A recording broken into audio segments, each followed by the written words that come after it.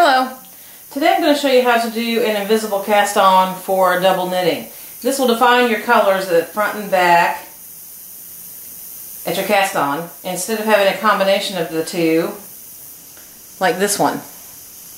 You have colors on two colors on the front two colors on the back and if that's not what you want you want to define so that you can't see that the back or the front then this is the cast on for you. Now you need to be familiar with Judy Becker's Magic Cast On because this is a variation of that and if you're not then please go over to my video and check that out and come back and we'll get you hooked up with this one. Now you need a set of needles one size larger than your gauge needles. You need your gauge needles and two strands of yarn. Now you take those two strands of yarn, both of them, and you put a slip knot in it. And put it on your needle.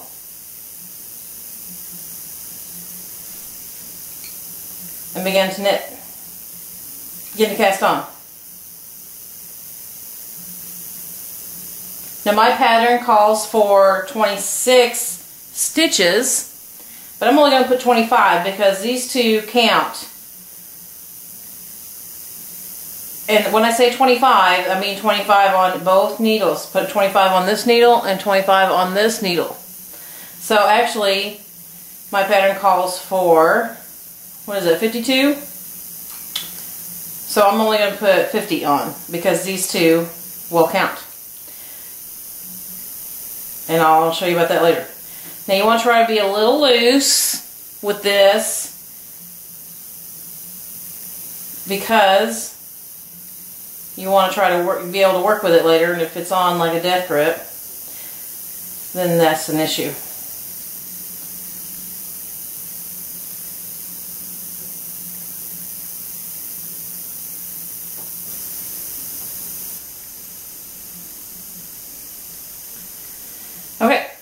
Now I have my stitches cast on. And now I'm going to turn this over.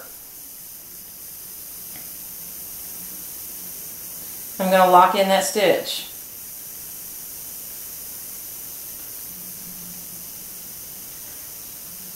Now normally whenever you do this cast on and you're done with casting on, you you want to take it and turn it over like this.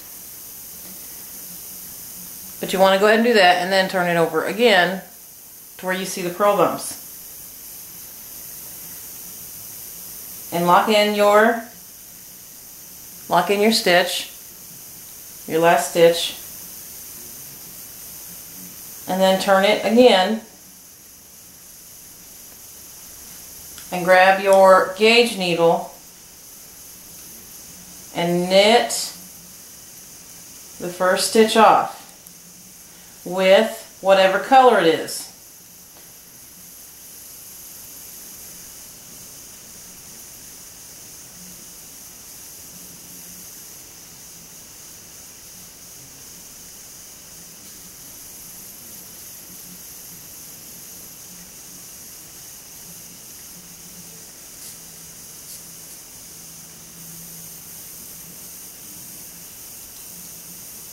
Knit that off.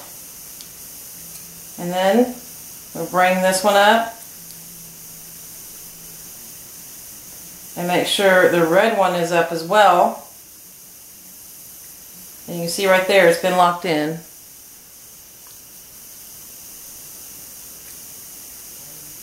And then you want to purl the back one off.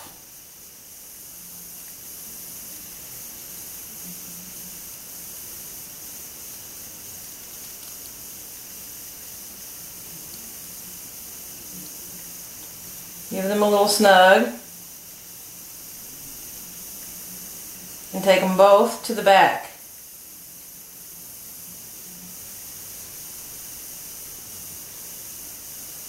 And then continue to knit the first one off with the color it is. Bring them both to the front and knit the back one off. Now because of the type of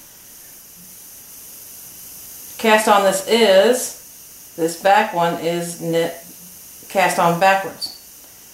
So you want to knit or purl those through the back loop. Take them both to the back.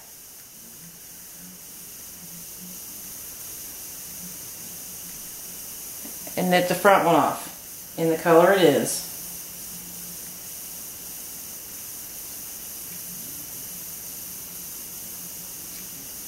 Both to the front.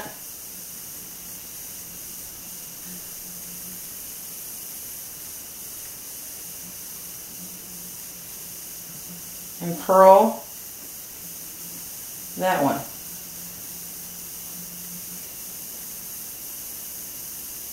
And just continue that.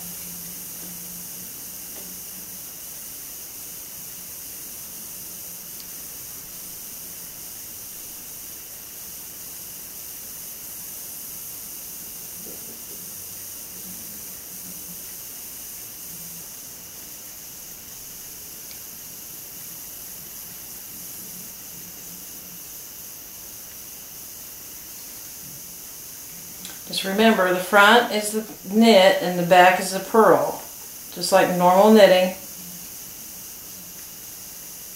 And you always bring your yarn to the back or to the front for purling, right? So this should be fairly easy. Yarn is in the back for knitting. And now we want to treat, let's get rid of that needle. We want to treat this cast on, or this slip knot as if they were separate stitches. So we can see our last stitch here is a red one. We want the blue one. And the blue one has always been knit all the way through this cast on. So we're just going to knit it and pull it off. And now we're going to bring the yarn up to the front and purl the cast on red normally.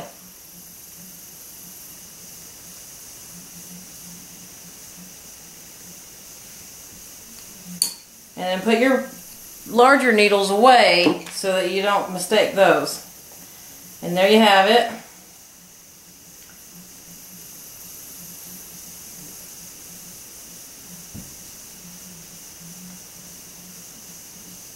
You've cast it on 25 or 52 stitches. Let's do row one.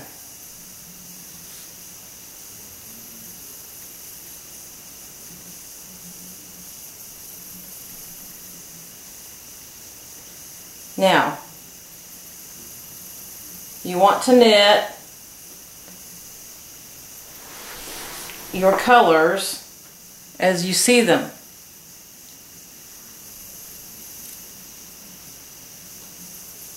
But you always want to bring both to the front or both to the back.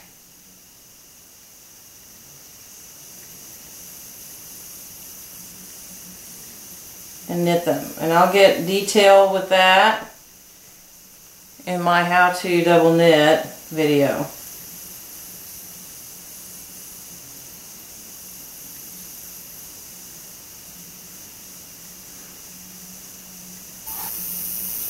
I've shown, I've done a couple rows for you and wanted you to see the results. Your cast on is separated, front and back. And you have done an invisible cast on. Now you can go on and do your pattern and stay tuned for my bind off that will match this. Happy knitting!